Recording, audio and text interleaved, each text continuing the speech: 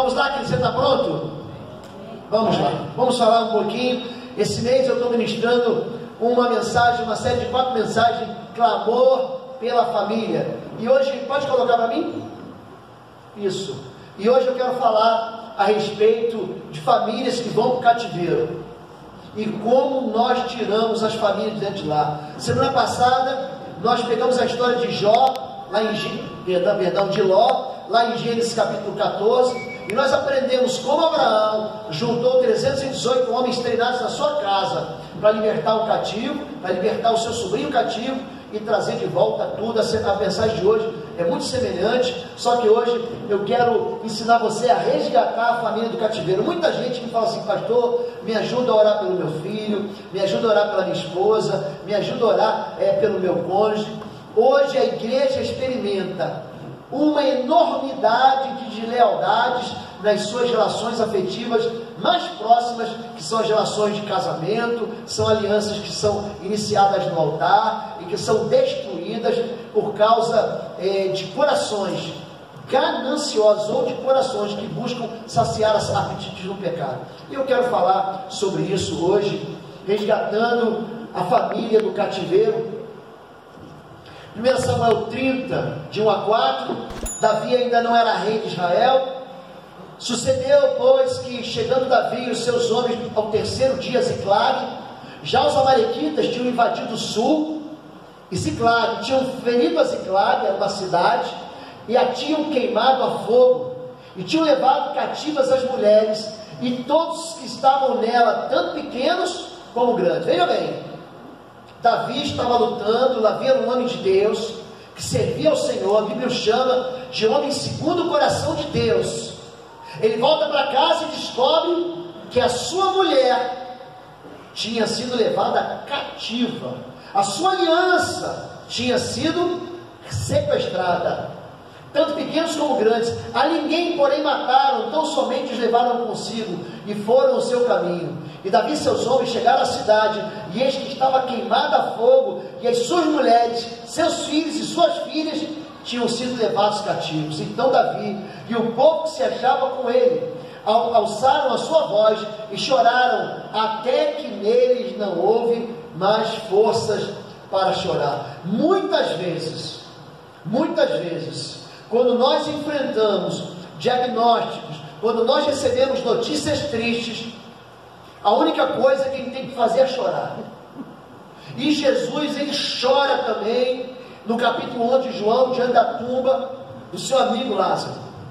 O choro é uma voz diante do Senhor, que diz que nós chegamos ao fundo do poço. Quando nós choramos, a Bíblia diz que um coração quebrantado e contrito Deus não rejeita. Mas quando nós choramos no segredo, na noite, dentro daqueles lugares, às vezes eu saio aqui nos parques da cidade. Esse dia eu estava fazendo uma caminhada no Parque Bacaxeri. E tinha uma moça, uma jovem, se debulhando em lágrimas. E eu cheguei perto dela e falei, filha, eu posso te ajudar? Falou assim, eu só preciso que alguém que chore comigo. Por isso que a Bíblia diz, chorai com os que choram. E se alegre com aqueles que se alegram. Davi aqui não está em pecado, não. Tem gente que acha que o mal só toca na gente porque a gente está com pecado. Quando a gente está em pecado, de fato, a gente sai debaixo da cobertura protetora do Senhor. Mas tem muito servo de Deus sofrendo, chorando e continua fazendo a obra do Senhor. E continua fiel ao Senhor. A Bíblia diz que Samuel tinha dois filhos desviados. A Bíblia diz que Arão perdeu dois filhos no serviço do Senhor. A Bíblia diz que Davi perdeu quatro filhos mortos. A Bíblia conta a história de homens e mulheres que nós amamos, que sofreram. Davi, ele tem a sua família sequestrada, como você, que trabalha, que dá um duro danado, que levanta às seis e meia da manhã e prepara o café para a família, e vai trabalhar, e sai de ônibus ou sai de carro, e sai da cidade, vai lá para Pinhais, ou para São José dos Pinhais, ou para Alcária, e quando você chega em casa, você descobre que teu filho está envolvido com droga, você chega em casa, você descobre que alguém roubou a sua casa, invadiu lá o seu escritório, invadiu o seu comércio e levou tudo que você tinha.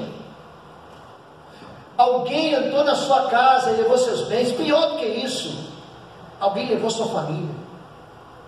Você descobre que de repente a pessoa que jurou fidelidade, se eu vou ficar contigo até que a morte nos separe, essa pessoa está indo embora e diz: Olha, arrumei outro e vou embora. Eu vou falar uma coisa para você: a sensualidade, gente, é um espírito, e é um espírito que emborrece as pessoas, é um espírito que cega as pessoas. Você acha que eu estou chutando? Eu gosto muito da palavra de Deus. Oséias capítulo 4, verso 14, verso 15 diz que o vinho, o mosto e a sensualidade tiram a inteligência. A pessoa fica absolutamente cega. E você fala assim: o que você está fazendo com a tua família? O que você está fazendo com a tua esposa, com os teus filhos? Ele vai dizer para você: eu quero é ser feliz. Davi ele chega em casa e descobre que a mulher dele ele descobre que os filhos dele estavam sequestrados e o povo só sabe fazer o quê? Chorar. Muita gente, mas muita gente, todos os dias, eu recebo pelo menos 10 mensagens todos os dias. Ora por mim, ora pelo meu filho, ora pela minha família, ora pelo meu casamento, ora por uma desgraça para que Deus traga o seu braço forte, traga de volta aquilo que foi levado. Mas nós precisamos aprender a levantar nessa igreja um exército de valentes. Eu gosto muito quando a Bíblia diz, no livro do profeta Jeremias, Jeremias fala assim: Eu sou filho de Deus, e o Senhor é comigo como um guerreiro valente. Deus, Ele não está no céu contando historinha para anjinho. O nosso Deus, Ele é chamado de Senhor dos Exércitos, é o Jeová Sabaote. Davi, ele conhece esse Deus, quando ele vai enfrentar o gigante Elias, eu venho em nome do Jeová Sabaote, eu venho em nome dos seus exércitos. E é sobre isso que a gente vai falar hoje. Pode me ajudar, Mateuzinho, por favor? Quando nós vemos aqui, na angústia, busca o Senhor. 1 Samuel 36, Davi muito se angustiou, porque o povo falava em apedrejá-lo, porque a alma de todo o povo estava em amargura, cada um por causa dos seus filhos e dos seus filhos. Todavia, Davi se fortaleceu no Senhor, seu Deus. Quando tudo é errado, sabe quem que é o acusado? É o líder. Pode reparar, você torce para time de futebol? O teu time começa a empatar, perder. A primeira cabeça que rola é do técnico. Tira o técnico. O jogador pode estar fazendo corpo mole, o time pode estar jogando mal, pode ter pereba e perna de pau. Mas o primeiro que vai dançar é o líder. Aqui Davi é líder. E aqui sabe o que acontece com ele? O povo olha para ele e diz assim: a culpa é tua. Você que nos levou para aqui. Moisés ele sofre com isso. Moisés está levando o povo, três, bastou três dias só de caminhada. Sem água, o povo começava a murmurar. Não havia lá no deserto, lá não havia no Egito, sepultura suficiente para Deus nos matar aqui no deserto. É um povo que não pode passar por nenhum aperto. Se recebe um beliscão, o povo já quer desviar da fé. Se recebe qualquer tipo de problema, fala, não vou mais. Quando os problemas vêm, primeira coisa que a mulher fala, a culpa é tua, marido. Todo mundo começa a querer apedrejar quem? o homem de Deus, o líder. E ele faz o quê? O povo está angustiado, Davi está angustiado. Já ficou angustiado? Você conhece o peso que há nos ombros de um pai de família que precisa sustentar a casa, de uma mãe que é mãe solteira que precisa sustentar seu filho, do homem de uma mulher crente que é o único crente da sua família que quer levar todo mundo para Jesus. Davi muito se angustiou, mas sabe o que ele fez? Ele foi buscar o Senhor. Queridos, se você buscar a Deus, você vai encontrar em Deus. Se você buscar ao Senhor, perto está o Senhor daqueles que o buscam. É que existem situações, existem momentos em que Deus vai provar a nossa fé, gente. E a gente começa a ler a Bíblia, principalmente eu gosto do Evangelho de Marcos e de Lucas que a palavra imediatamente acontece toda hora. Fala assim, não, está aqui, ó, Jesus curou, imediatamente ele foi curado. Mas normalmente, o milagre, ele, ele, ele tem um processo. Tem até a pessoa receber o milagre, ocorre um processo. Ele vai experimentando pequenos milagres até que vem de repente, do nada, rompe, né? Como diz Isaías 58, e romperá. Então o milagre, como sol do meio-dia, só que à noite. Como se você tivesse num dia de lua, de lua nova, você não tem nada em abre um clarão, o sol que aparece a pino e traz repentina cura, repentina restauração na sua vida. Na angústia, busca Deus. Eu acho que não está funcionando. Se quiser me buscar, pode passar isso. Persiga e não desista. Então, consultou Davi ao pastor, é isso? Consultou Davi ao profeta, é isso? A irmãzinha da revelação da igreja, é isso? Ele consultou ao Senhor. Intimidade. Uma pessoa que fica buscando profeta na igreja é uma pessoa que Deus já não fala com ele há muito tempo. Sabe por que tem gente que fica buscando profeta e profetiza na igreja? Porque Deus não fala com ele há muito tempo. Sabe por que, que Saul foi buscar a feiticeira de Endor? Porque Deus não falava com ele ó, há muito tempo. Davi, ele vai buscar Deus, ele vai buscar o Senhor, ele vai consultar o Senhor, dizendo: Perseguirei eu esta tropa, alcançá-la-ei. Ele disse: Persegue-a, porque de certo alcançarás e tu a libertarás. Pastor, como é que eu sei que eu devo, devo lutar pela minha família? Como é que eu sei que eu devo lutar pelo meu casamento, pelo meu filho? Bom, eu vou te dar aqui uma palavra de um pastor que não desiste. Eu não desisto. A não ser que Deus seja absolutamente claro comigo, assim, pode desistir. Já aconteceu comigo algumas vezes. Esses dias, a irmã desse, a esposa desse homem congrega com a gente na igreja. Esses dias, ele falou assim, pastor, vamos no hospital comigo, eu estou com um amigo muito mal, mas muito mal. Tá lá, vai lá para orar, porque o senhor tem fé para curar ele. Gente, quando eu entrei no hospital, naquela hora, quer ver Deus fala, essa enfermidade é para a morte, é para que se manifeste a glória de Deus. Mas nesse dia eu cheguei, Deus falou comigo assim, ó, fala do meu filho Jesus. Só isso que ele falou. E falou como som de muitas águas, eu entrei. Ele falou assim: Você veio orar por mim? Eu falei: Não, eu vim te apresentar Jesus. E apresentei para ele as quatro leis espirituais. E perguntei: Você quer receber Jesus? Você quer confessar Jesus com a tua boca? Você quer pedir perdão pelo seu pecado? Ele falou, quero. E eu levei ele a um momento de confissão, muito parecido com esse que eu faço com vocês aqui. Fiz ele confessar Jesus, pedir perdão pelos seus pecados, e fui embora. Ele, pastor, o senhor não vai orar? Eu sim, não, Deus não me falou nada. Mas falou para apresentar Jesus. O dia seguinte aquele homem morreu. Ele, pastor, Aquele dia estava bem, estou pensando que ele estava lá capenando, na UTI, não, estava no quarto normal, falando, andando com a gente. Me ofereceu aquele, sabe aquele matezinho de, de hospital sem, sem, sem açúcar horrível? Me ofereceu aquilo lá, ficamos conversando, eu apresentei Jesus para ele e ele morreu. Perseguirei essa tropa. Eu vou conseguir resgatar minha mulher, eu vou conseguir resgatar meu filho, eu vou conseguir resgatar o meu emprego, eu vou conseguir resgatar a minha família. Deus ele vai falar com você. Mas se Deus não falar nada, porque tem hora, gente, que Deus não fala nada. A gente aprende na IBD que Deus diz sim, Deus não, e Deus diz não, e Deus diz espere. A gente não aprende isso? Deus diz sim, Deus diz não, e às vezes Deus diz espere. Olha, vou contar mais uma para você. Às vezes Deus não fala nada. Deus falou com Abraão, de repente ele ficou 14 anos sem falar com Abraão, amigo dele. Já manjou Deus ficar 14 anos sem falar com você? Uma lambança que Abraão fez. E foi ter filho com quem? Com a escrava. E Deus é. Você quer andar sozinho? Então te vira aí, meu chapa. Quer ter filho, quer ter filho de escravo ou quer ter filho de promessa? Às vezes Deus não fala nada. E se Deus não falou nada, permaneça na sua fé. Davi se fortaleceu no Senhor, ele buscou a Deus e ele disse assim: Eu vou te dar de volta.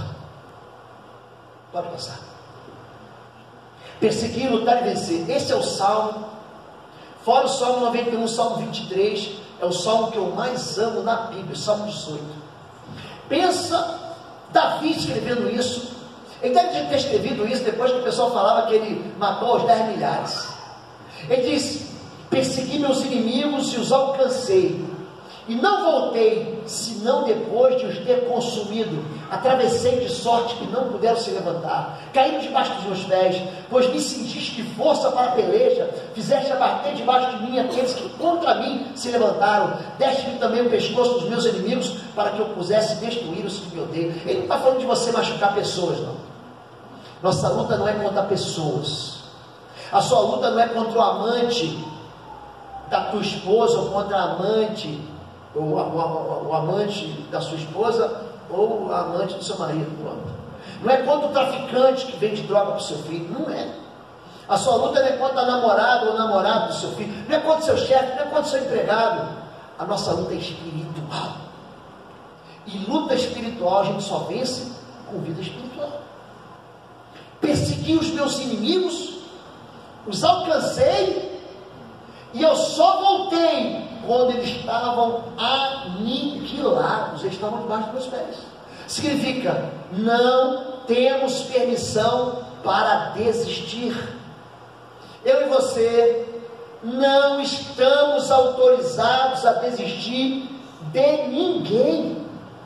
Eu não desisto, pastor, mas ele não quer. Mas eu vou continuar orando, eu vou perseverar, eu vou buscar, eu vou clamar, eu vou jejuar, eu vou falar com Deus, eu vou vir no culto de quarta-feira, eu vou vir no culto da domingo, eu vou pedir a Deus, eu vou juntar com o irmão, eu vou juntar com outro irmão, eu vou ligar na terra, eu vou concordar na terra.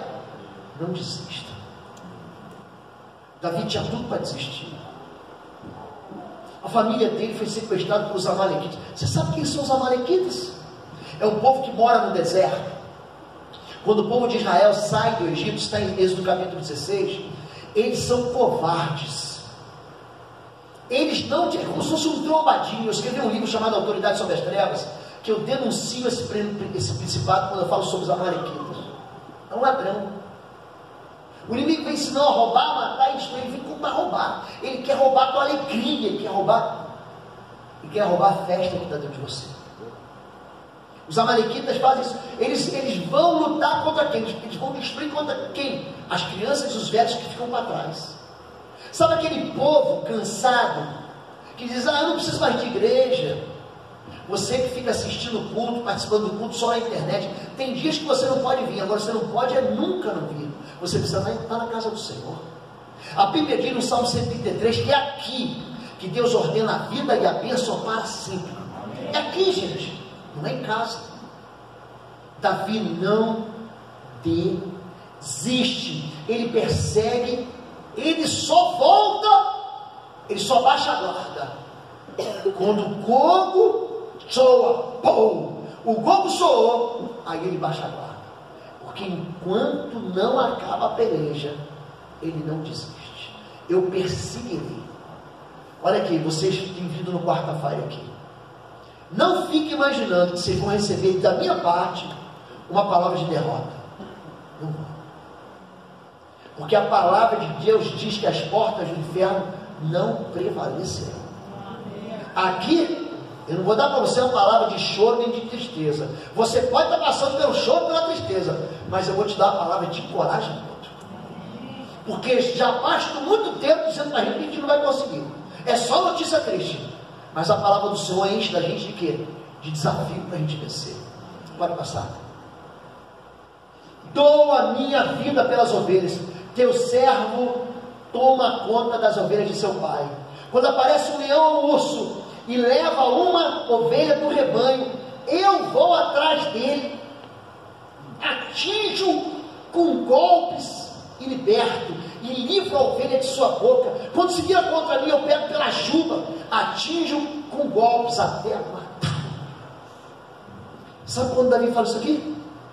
Em 1 Samuel capítulo 17. Sabe o que acontece no capítulo 30? Primeiro, olha como é que Deus dá musculatura espiritual para a gente. Primeiro, Davi faz o quê? Ele liberta quem? As ovelhas do papai. Da boca de quem? Do leão. É o inimigo lá, o leão. E daqui a pouco ele liberta a ovelha da boca do urso. E quando o urso leva a ovelha, ele não pergunta, tem pai que fala assim, ah meu filho, bem feito, agora vai sofrer. Não, Davi não. Pastor, olha, presta atenção. Você que anseia em ser pastor ou pastora, nós não cuidamos das ovelhas porque nós amamos as ovelhas. Nós cuidamos das ovelhas porque nós amamos ao Senhor. Pedro, tu me amas? Amo, Senhor. Tu sabes que eu te amo. Então cuida dos meus cordeirinhos. Porque cordeirinho, gente, vai se desviar, vai se afastar. Tem cordeirinho que sabe que tem leão, vai passar perto, passar perto lá, da, sabe? Da, da área dos leões, aquele território dos leões. Tem ovelha que se joga na boca do leão. Nós não estamos autorizados a discutir. O nosso papel qual é? Ir lá e tirar da boca do leão. É isso, nosso papel. Você que é pai, você que é mãe, não, vai, eu estou decepcionado com meu filho, querido. Se Deus fosse, se Deus é pai, e nós somos filhos. Se Deus fosse decepcionar com a gente a cada tropeço que a gente desce, Ele já tinha mandado um raio na cabeça da gente e acabado com a raça humana. Mas Ele é compassivo. O nosso Deus é um Deus perdoador. Ele ama o perdão, Ele ama a verdade. O que, que eu aprendo aqui? Que Davi já estava acostumado a o quê? A buscar os perdidos a buscar os fragilizados, vulneráveis, aqueles que já desistiram. Você já viu esses programas do, do National Geographic, do Discovery Channel? Animais perigosos. Já viu isso aí? Aí de repente vem um jacaré, toma uma gazela. Ou um leão se junta em cima de uma zebra. O Dugnu, já viram? Você fala, não tem mais jeito, não tem mais jeito para você, para mim tem. Eu vou lá, eu vou lá. Eu livro da boca do leão. Queridos, preste atenção nisso. Você precisa aprender isso. Quanto você acha que uma vida vale? Eu estou falando de valor. Quanto? A Bíblia diz que uma vida vale mais do que o mundo inteiro. Existe, no mês que vem é Páscoa, eu vou tratar bem da questão do sangue, você entender o poder do sangue da cruz. Você vai entender isso. Quando Moisés está libertando o povo do cativo, sabe o que, que o inimigo faraó fala para ele? Vai, mas deixa teus filhos, deixa tuas mulheres, deixa o teu gado. Sabe o que Moisés fala para ele? Assim diz o Senhor: Deixai o meu povo ir, para que me celebre uma festa no deserto. Vão conosco as nossas esposas, os nossos filhos, os nossos velhos, o nosso gado, nenhuma unha vai ficar mexendo. Não desista vai atrás daquilo que Deus te deu para cuidar. Eu cuido das ovelhas do meu Pai. Posso ouvir um amém mais aleluia? Amém. Vamos lá, pode passar. Pregando as armas de Deus, Salmo 18. Deus é que me cinge de força e aperfeiçoa o meu caminho, faz os meus pés como das servas e me põe nas alturas ensina as minhas mãos para a guerra, de sorte que meus braços quebram o arco de cobre, também me deste escudo da tua salvação, a tua mão direita me susteve, e a tua mansidão me engrandeceu. Olha para mim aqui. Você nunca vai experimentar um testemunho de alguém que chega aqui e fala assim, pastor, eu reclamei, eu murmurei, eu xinguei, eu discuti, eu bati boca, eu bati com cinto, com vara, e ele se converteu. Eu critiquei, mandei mensagem no Facebook, eu mandei direto no Instagram, eu peguei meu grupo de, de, de, de WhatsApp e ele se converteu. Isso não é arma espiritual. Ensinar os dedos para a guerra, adestrar as mãos para a batalha, você quebrar um arco de bronze. A Bíblia está falando de fortalecimento espiritual nós precisamos aprender definitivamente e uma vez por todas que a realidade a qual nós estamos submetidas é uma realidade espiritual. Eu e você vivemos num mundo mergulhado na presença de um Deus que é espírito e que em volta de nós, ao bem e ao mal. E se você acha que você, com sua força, você vai atingir o mundo espiritual, você está jogando fora a força. Você está desperdiçando tempo. Você está dando tiro onde onde não tem gente para você atingir. O que ele está dizendo é o seguinte: é que para que Deus faça e forge em você um guerreiro valente, ele vai ter que dar para você um treinamento. Fala, povo de Deus, um breve intervalo aqui.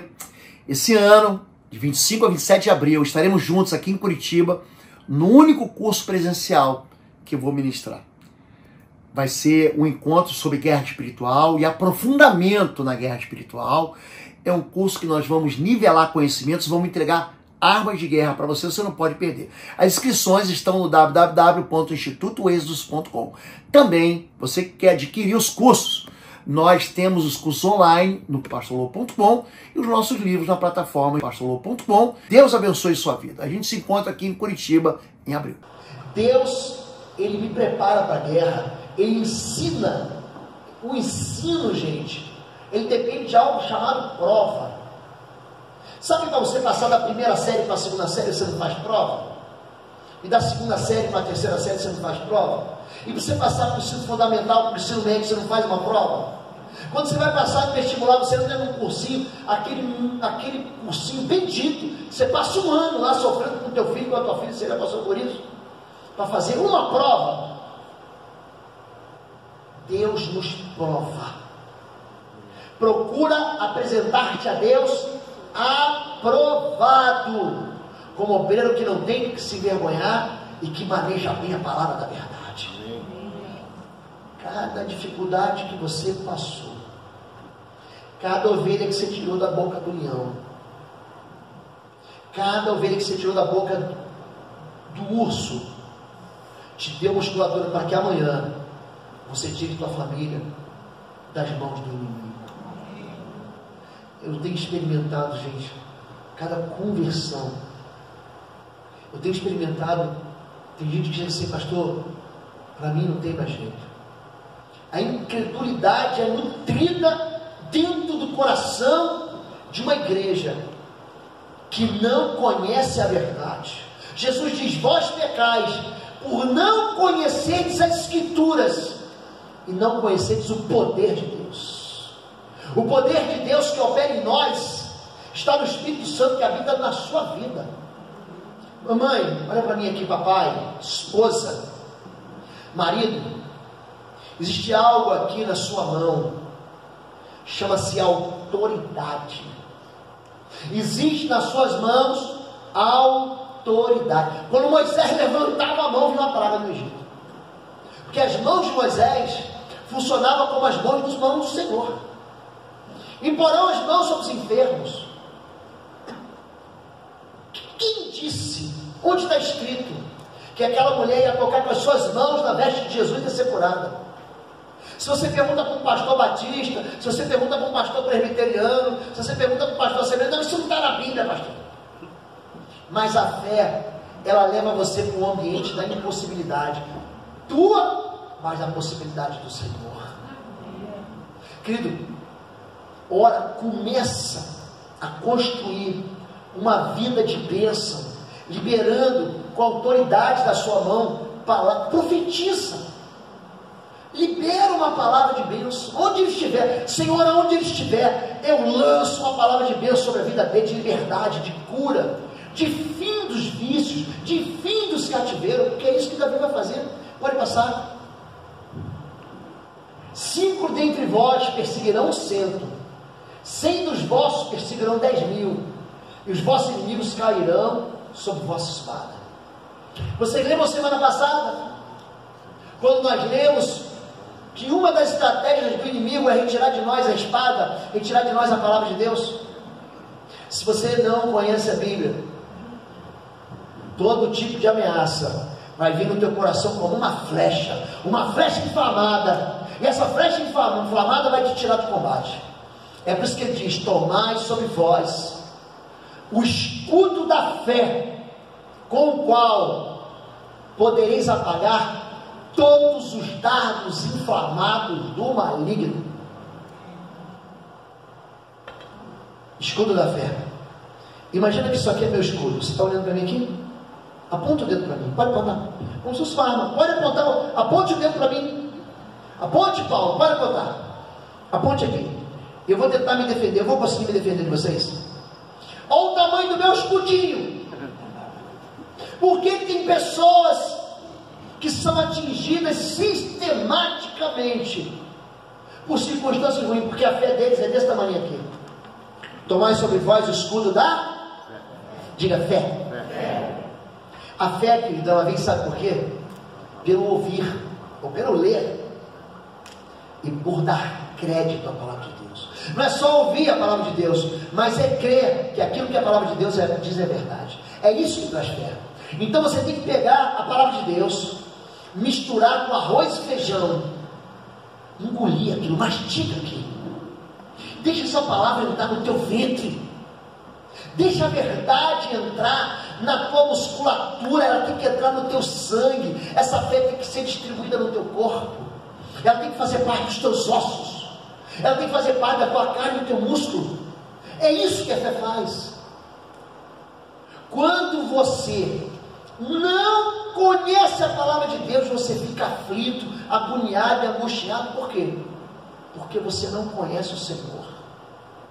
E você não conhece as formas como Deus opera. Domingo passado, fui levar minha esposa para o aeroporto, ela tinha que pegar o um avião. Chegamos no aeroporto. Gente, eu já, eu já nem fico mais aflito, eu acho que eu estou ficando assim. Chegamos no aeroporto, o sujeito falou assim para a gente: o avião de vocês ah, foi cancelado o voo e não tem mais voo. Não tem mais voo. Ela ia perder a conexão, ela ia para São Paulo para pegar outra conexão. Aí eu falei, pai, paizinho querido, em nome de Jesus, eu preciso de um avião. Só isso. Olha que coisa. Daqui a pouco, o rapaz chamou assim, eu voltei de novo lá, só que é insistente.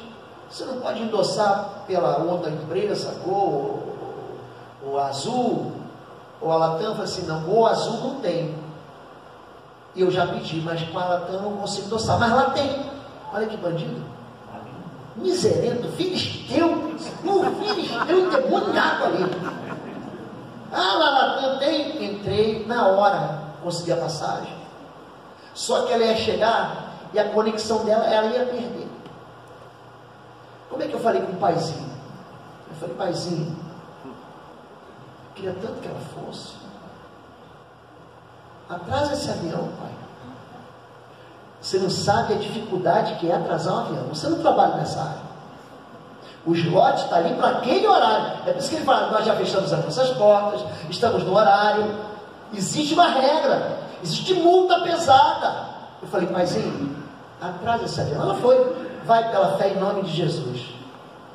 Quando chegou em São Paulo, eu falei, amor, pega a mala e corre para fazer a alfândega aduana, a Polícia Federal. Quando chegou lá, ela falou assim, amor, está chovendo.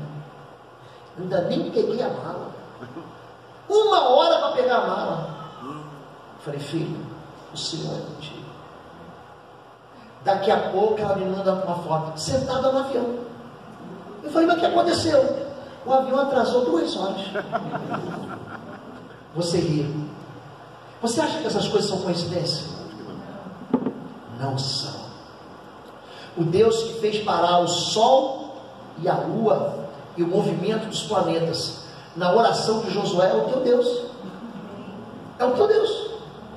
O Deus que ouviu a voz de uma igreja reunida orando e mandou um anjo para tirar Pedro da cadeia é o teu Deus. O teu Deus, querido, é esse Deus aqui. Pode passar. Autoridade para vencer. Disse, pois, o filisteu a Davi: Sou eu algum cão, para tu vires a mim com paus, e o filisteu pelos seus deuses. Olha só, gente, como é que é a questão espiritual. O amaldiçoou, pelos seus deuses, amaldiçoou Davi. Disse mais o filisteu a Davi: Vem a mim e darei a tua carne as aves do céu e as bestas do campo. Davi, porém, olha como é que você tem que comunicar a tua fé. Repete comigo assim: Disse. Se a tua fé for como grão de mostarda, tu dirás. Tu dirás, sai daqui, vai para lá. Lembra disso? A fé tem que ser o quê? Comunicada. Davi Disse ao filisteu: Tu vens a mim com espada e com lança e com escudo, porém eu venho a ti, em nome do Senhor dos Exércitos, Jeová Sabaote, o Deus dos Exércitos de Israel, a quem tens afrontado. Hoje mesmo o Senhor te entregará na minha mão, ferir-te-ei e tirar-te-ei a cabeça. Não, peraí, Davi. Você não tem nem um canivetinho no teu alforje. Você está com uma funda e com pedra. Olha como é que a palavra liberada sobre a vida da sua família, a palavra liberada sobre a sua vida, sobre o seu futuro, sobre os seus filhos, sobre o seu casamento, ela tem um cumprimento, ela acha o cumprimento. É uma palavra liberada e molhada, carregada de uma unção. Você sabia que você tem uma unção? Olha como é que vocês são incrédulos. Eu estou falando que você tem uma unção e você está vindo. Você você é molhado pelo óleo do Espírito Santo de Deus. Não estou dizendo, não é a Bíblia que está dizendo isso, é a verdade. Ferir-te-ei, tirar-te-ei a cabeça, os corpos do arraial dos filisteus. Darei hoje mesmo as aves dos céus e as feras da terra, e toda a terra saberá que é Deus de Israel. Gente, Davi pode passar. Davi, para onde ia, levava a cabeça do gigante. Eu guardo essa passagem.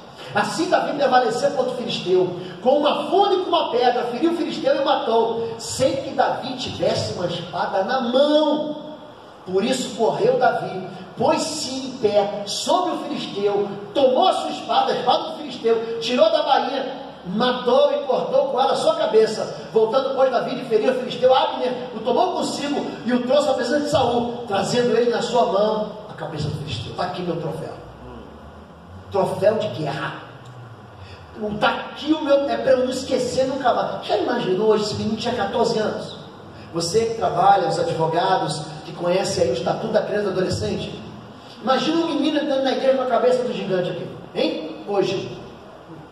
Entenda uma coisa. Davi não venceu porque ele era mais esperto nem mais forte. Davi venceu porque ele era um homem cheio de fé. Ele vai dizer: O Deus que me livrou do leão e do urso, ele vai me livrar desse gigante filisteu. Você precisa aprender isso. Você precisa começar a colecionar vitórias. Você precisa deixar esse lugar de mesmice, de incredulidade, para dizer: Eu sei que meu redentor vive e que por fim se levantará da terra. Pode passar, Mateus.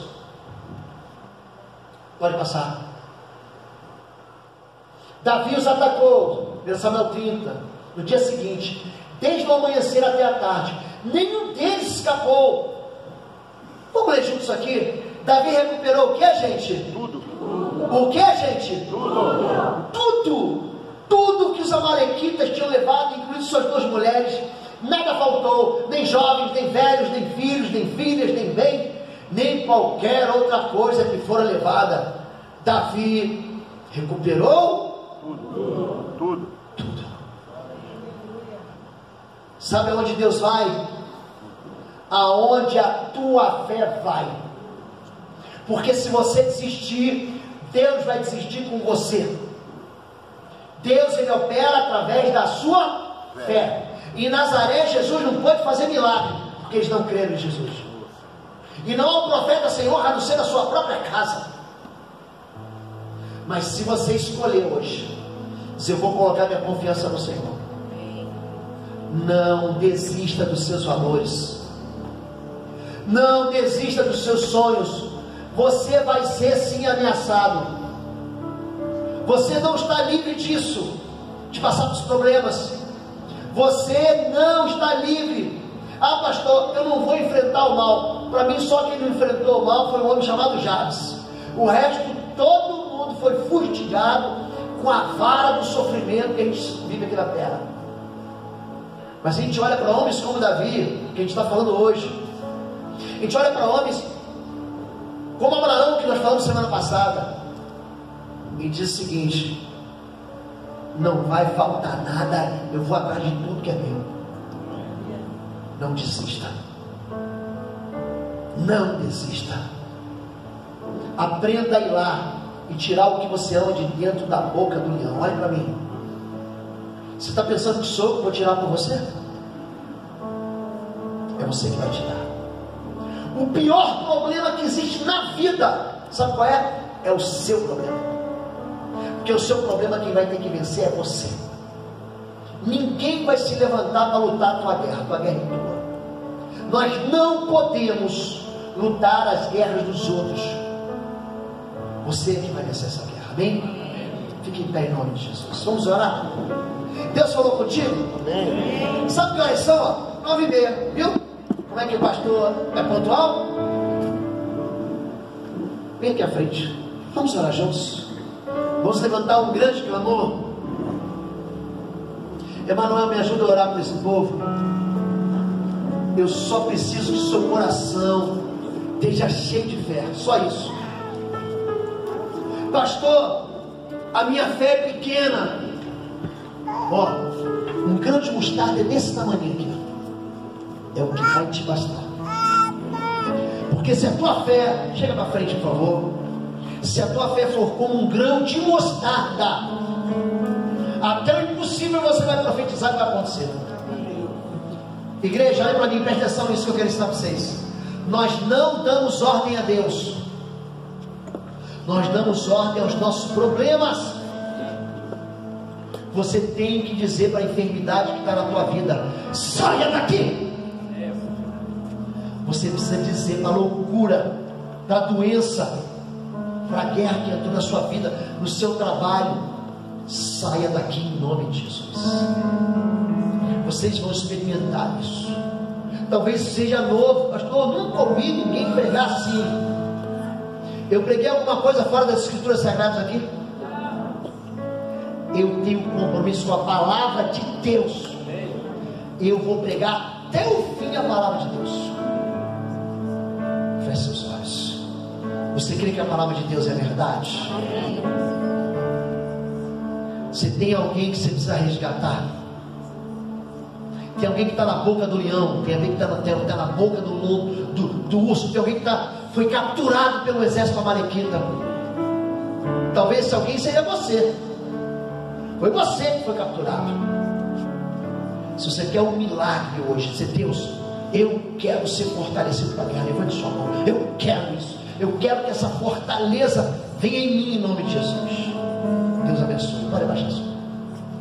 Alguém aqui essa noite que quer fazer uma aliança com Jesus. Você conhecia Deus de ouvir falar. Não estou perguntando se você é evangélico, nem católico, nem espírita. Você quer fazer uma aliança com Deus de Abraão, de Isaac, de Jacó, com o Deus de Jesus. Se você quer isso, levante sua mão. Fique no seu lugar, só levante sua mão. Deus abençoe todos vocês. Deus abençoe todos vocês. Pode abaixar sua mão. Tem alguém que está desviado e afastado hoje aqui. Pastor, estou voltando para o Senhor agora. Se você está voltando para o Senhor agora, levante sua mão. Deus abençoe, querido. Seja bem-vindo à casa do Pai, é tua casa. É tua casa. Vamos orar. Eu vou orar e você vai orar também. Vem aqui comigo. E você vai concordar na terra. Pai querido, em nome do teu filho Jesus, nós nos enchemos dessa palavra, esperança, que toca o nosso coração. E nós anunciamos no promundo espiritual saber que o Senhor é o nosso Deus aqui. E nós vamos enfrentar os nossos problemas em nome do Senhor dos Exércitos.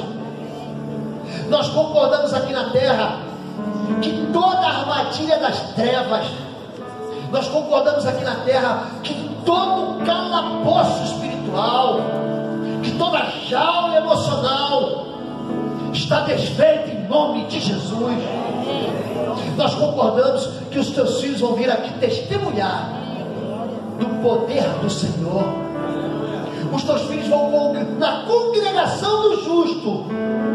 Eles vão abrir as suas bocas para dizer: O Senhor me deu forças, e a minha família cativa foi trazida de volta. Eu quero concordar em nome de Jesus que homens e mulheres aqui vão experimentar vitórias extraordinárias do Senhor. Eu quero concordar aqui que o coração dos filhos vai se voltar, vai se converter ao coração dos seus pais, e os seus pais aos seus filhos. Eu quero concordar que as alianças de amor vão voltar para o altar de Deus. Eu quero concordar que os ministérios adormecidos serão sacudidos, que portas serão abertas, que os ferrolhos de ferro serão destruídos. Eu quero concordar aqui na terra que a felicidade do Senhor, que a alegria de Deus vai jorrar como fontes eternas sobre a cabeça do teu povo. Eu abençoo, eu abençoo, Pai, em nome de Jesus, a vida de cada homem e mulher que está fazendo uma aliança contigo hoje. Eu abençoo a vida de cada homem e mulher que levantou as mãos para dizer: Eu quero essa autoridade. Eu abençoo a vida de cada homem e mulher hoje que está fazendo uma aliança contigo e está voltando para o Senhor. Em nome de Jesus, eu os abençoo, Pai. Eu abençoo a Igreja Batista de Corretido. Eu abençoo essa igreja como um celeiro pastores missionários. Eu abençoo essa igreja como uma igreja de famílias saudáveis. Eu libero uma palavra do sangue da cruz e de perdão sobre cada história e cada vida. Em nome de Jesus, essa igreja vai ser conhecida como um lugar aprazível do Senhor, como já é, como lugar de cura e restauração, como lugar de bênção e de louvores ao Senhor, como lugar onde a palavra do Senhor de Deus é profetizada com poder, em nome de Jesus. Vamos orar, vamos orar, amém, diga amém. Seja forte e corajoso porque ainda nesta terra verás a bondade do Deus vivo. É nessa tua boa palavra, ó Deus, que nós confiamos e que nós acreditamos, ó Deus. Não aprendemos e não cremos, ó Deus, numa teologia, mas cremos na tua palavra. Sabemos, ó Deus, que não vamos andar por essa terra, por essa vida, errantes e sujeitos, ó Deus, às coisas deste mundo. Não seremos sucumbidos, ó Deus, pelas adversidades da nossa vida, mas viveremos, ó Deus, ainda nessa terra, do teu livramento, da tua bondade, da tua cura, da tua restauração, da tua salvação, ó Pai. Veremos, ó Deus, o Senhor visitar os nossos filhos e os filhos dos nossos filhos. Veremos o Senhor restaurar os nossos vínculos familiares.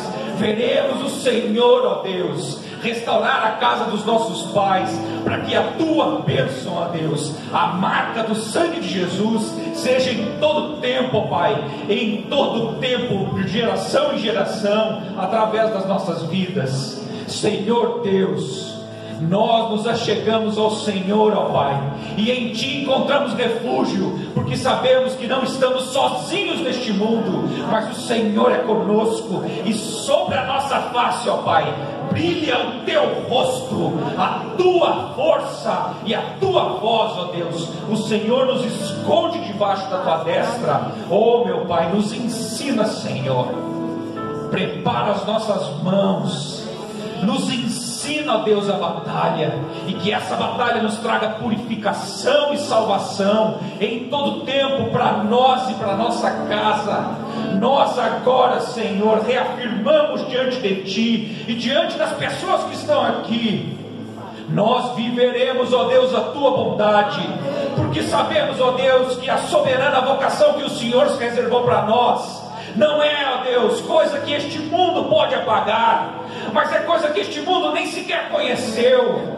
E nela, Senhor, nós confiamos, e nela nós tomamos sobre as nossas cabeças e dizemos: Eu sou bendito do Senhor, Filho do Deus amado, Todo-Poderoso, e eu não serei envergonhado. Os meus filhos andarão com passos firmes sobre esta terra, não serão confundidos e nem desviados. A minha esposa será sempre fiel e frutífera e andará sempre ao meu lado. E eu também, esposo, serei sempre fiel e caminharei ao lado da minha esposa. Em nome de Jesus, ó Pai, nós confiamos no Senhor e por isso, ó Deus, entregamos tudo a Ti, clamando, ó Pai, pela Tua presença e pelo Teu socorro. Em nome de Jesus. Amém. Amém, queridos. Vamos para casa? Uma noite aleluiada. Para você, não desista. Não desista. Você que nos visita, olha que antes de você ir embora, quem é visitante, você vai passar lá no fundo. Você vai deixar o seu nome, o seu telefone, para a gente poder dizer assim aí. Porque nós existimos para quê, gente? Para abençoar a sua vida. É para isso que nós, é para isso que a igreja Batista de existe, para abençoar a sua vida. Ah, pastor, vim aqui, visitei e não vou voltar mais. Queridos, é aqui que Deus ordena a vida e a bênção. É aqui, você tem que voltar. Quarta-feira que vem tem mais. Eu vou continuar, continuar batendo firme para que você permaneça com esse coração cheio de fé com relação à sua família. Amém? Levanta a mão. Que o amor de Deus, o nosso Pai, que a graça